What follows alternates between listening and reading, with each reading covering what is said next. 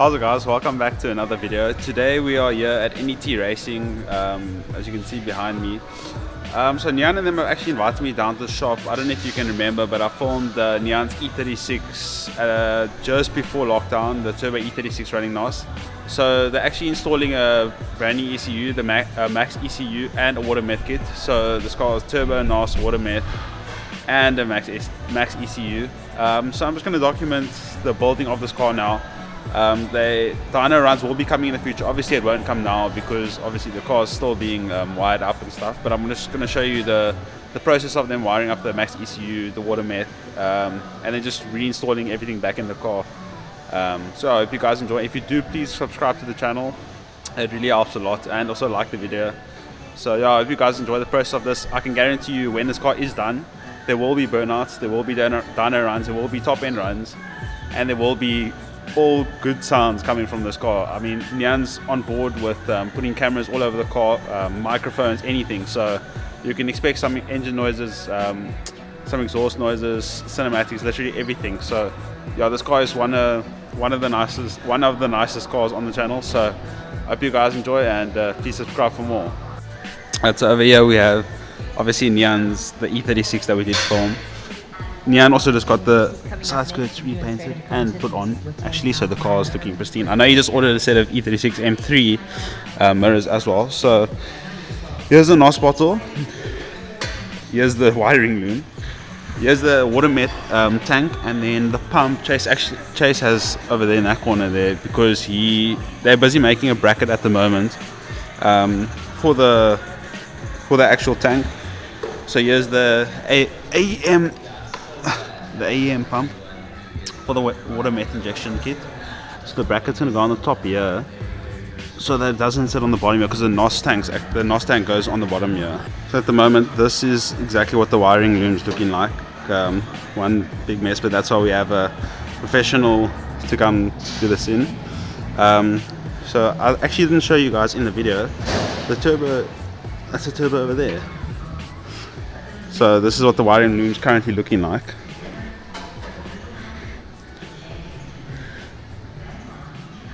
Quickly gonna sneak away here. I just want you guys to have a quick, quick, quick glance here.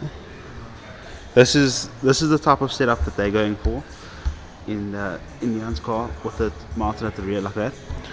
But just have a look at this MR2. Oh, get into focus. MR2 twin cam turbo. So yeah, this thing is a proper proper beast. There's a turbo sitting there. So this thing is currently a road car. If I'm not mistaken, it's going to go into a race car, but I just quickly snuck, just snuck away quickly just to get this, because this thing's also looking pristine. So, water meth turbo in an MR2 and a whole bunch of fun. So the mount's going to go exactly like that. So Chase is just busy measuring up with a cookie by eye. if yeah, if it looks centered, it's good enough.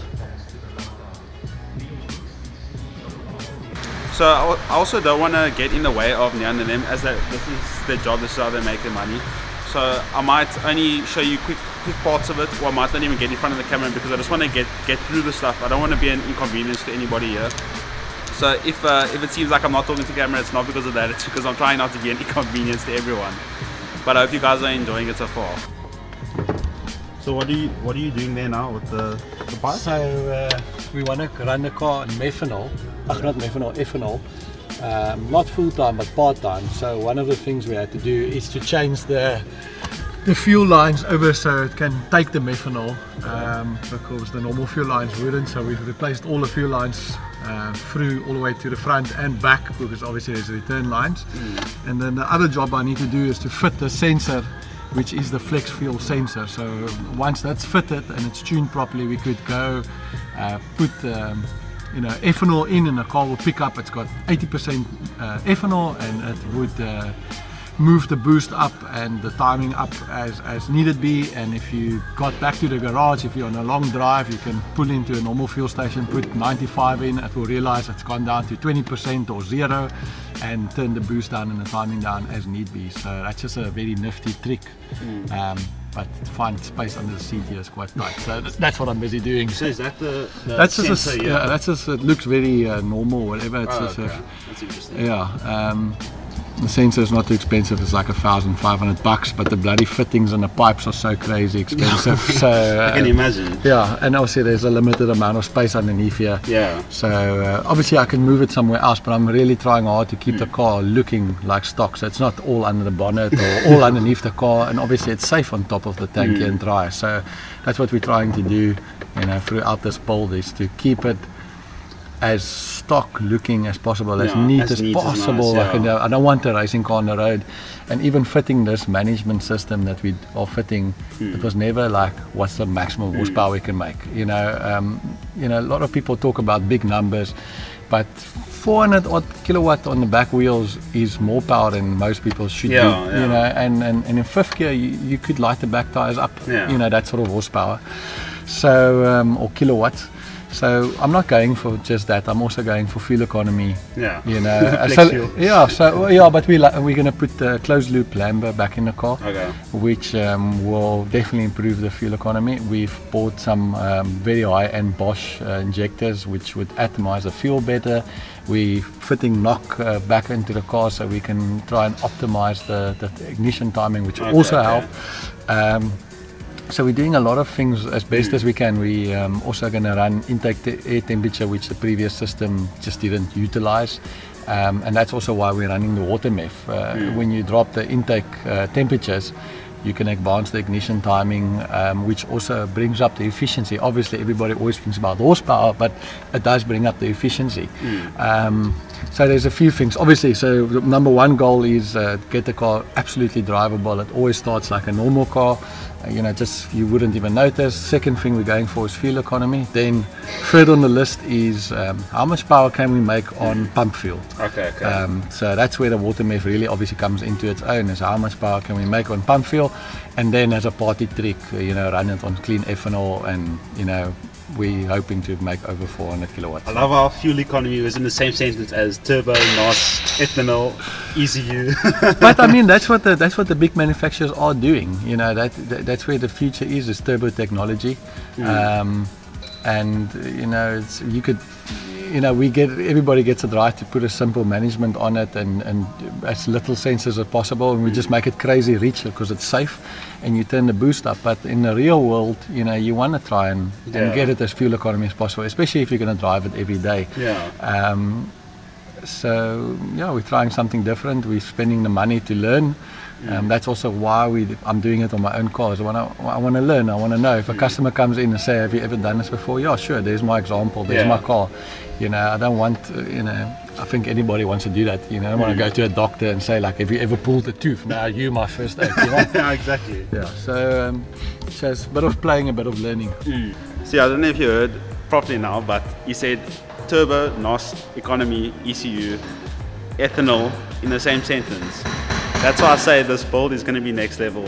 Like, yes, there are cars that are super, super, super quick and stuff like that, but uh, for the fact that he is doing it with a different mindset towards it is what makes it intriguing for myself at least. That's why I say you guys need to subscribe to the channel. You need to keep up with this build. If you need if you need to contact NDT and you want something like this done, obviously contact them. But this build is going to be insane. Like I can't wait for this car to go on the dyno. Like I said, at the end we, he he is going to be shooting for power. I mean he's not doing it um, not to shoot for power. So So this is the cabrio of it. And here's the AEM. The controller. How neat does that look inside the cabrio? That's crazy. So that looks super super neat there. And then here's the the whole big show from behind with the, the full wiring on it. So that's done now. As you can see the setup's completely done here. The master's back in, the with the tanks in. Where's the pump situated? Oh, there, I didn't see it. The pump's underneath there. Yeah, it's so neat, I can't even see it. So the water pump's in, after the water pump's in, the tank's in, is in. The, pretty much the installation is complete. So now they're just busy um, putting all the, the harnesses. The, the ECU harness is still obviously going to take some time there. But so far it's looking good. So that these here are the old injectors that came out of the car. Um, so if you can imagine, if these are the old ones and the new ones that are being fitted are a thousand cc, you know this thing is going to make some power. So now it's just busy doing some some changes at the moment to it because the the lengths and everything are different. Uh, so unfortunately, we're gonna, you know, as you go along, you cut pieces off and uh, you end up making it pretty again. So, Yeah, fair enough. uh, yeah, there's always something we forgot or something we need to add, and uh, it's just not practical to say like, oh, build the whole car and strip it later to make it pretty because some of the stuff is hard to get to. Yeah. But it's The car's coming along nicely. I was just looking at the at the lumen stuff. So I think that's where we're going to conclude the video for today, guys. The ECU wiring on is obviously um, it's got some time to go. I mean, it's obviously not going to be a two-minute job to put something in like that. So the water meth injection is everything there sorted except the harness is just being installed currently. But that's um, at least everything's done practically. So now it's just the, the ECU harness, and then once that's in, just to put everything back together, and then the car's ready for a tune. So yeah, this has been an interesting thing. I hope you guys did enjoy it. Um, there wasn't much of the actual process of it happening, but just showing what's happening, I'm sure many of you would, would, would have enjoyed that. So this is the first episode of this, I think you could say, done. And the next one should be the first startup and then also Dyno Tune. So I hope you guys enjoy it. If you did, please subscribe to the channel and like the video, it helps a lot. Um, but yeah, see you guys in the next video.